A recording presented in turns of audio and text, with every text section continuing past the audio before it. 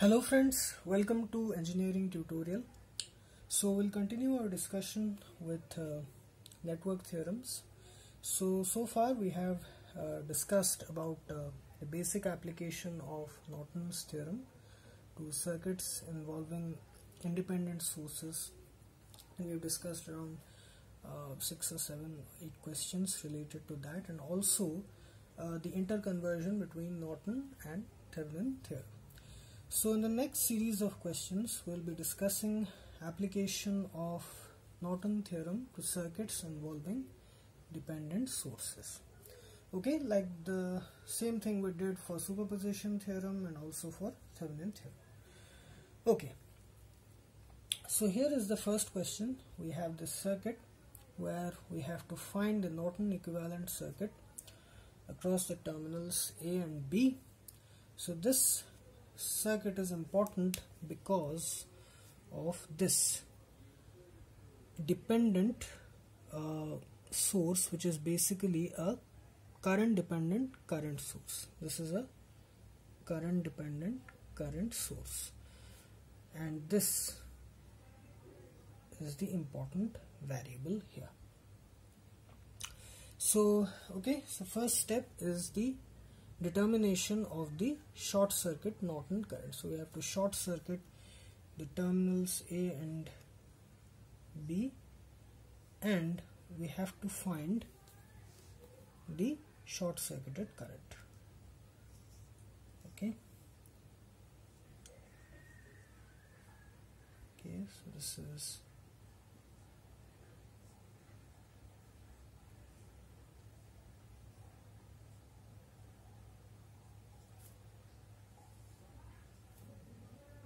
so we'll short circuit this. This is the Norton. Current this is 5 ohm. This is 2ix this is 4 ohm. This is 10 volt.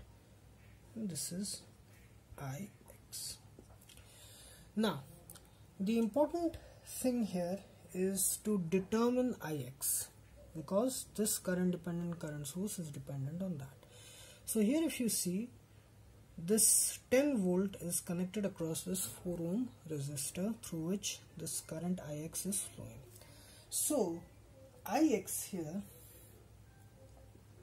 is 10 volt by 4 ohm which is basically 2.5 ampere.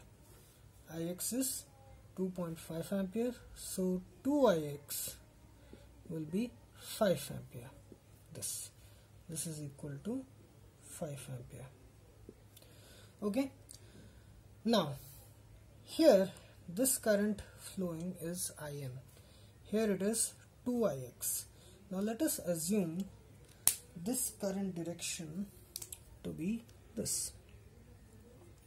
So this will be in minus 2ix okay so now let us apply KVL in this closed mesh this closed loop. So that will be starting from here. Let us note the polarity okay? So we'll apply KVL here. And that is 10 minus 5 into in minus 2ix or we can say it is in minus 5 is equal to 0 okay? In minus 5 is equal to 0 or we can say that implies 10 minus 5 in plus 25 is equal to 0 that implies 5 in is equal to 35 that implies in is equal to 35 by 5 which is equal to 7 ampere. So here the Norton current is equal to 7 ampere. This we have determined. Okay, the first step of finding IN is done. Now we have to determine RN. Okay, the equivalent resistance, the Norton resistance. So we have determined the Norton current IN is equal to 7 ampere.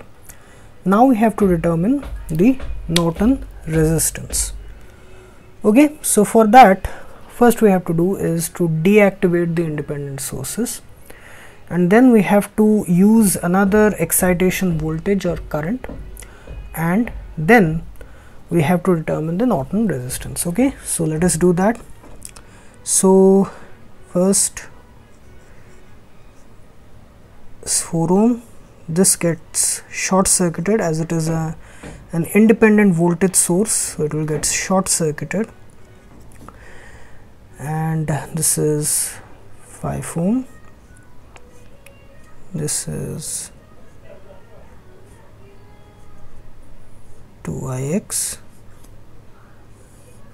and we have to connect uh, an excitation voltage. Let us connect a 1 volt excitation voltage source here. This is 5 ohm. This is 2ix and this here is ix the dependent variable. This is short circuited. This 10 volt is short circuited here. Okay.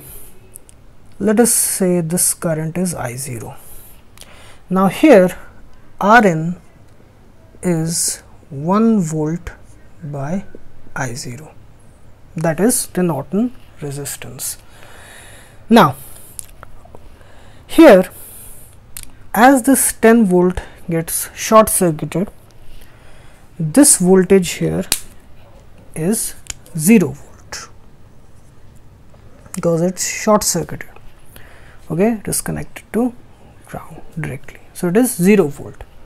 So as it is 0 volt the current ix flowing through 4 ohm will also be 0 ampere so that is very important Ix is equal to 0 ampere. As Ix is equal to 0 ampere, 2 Ix is also equal to 0 ampere and this dependent current source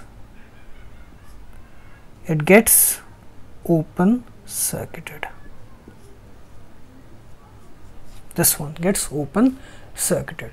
So, the modified circuit here will look something like this.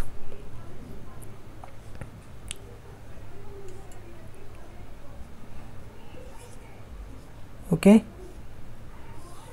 This is the modified circuit. 1 volt 5 ohm.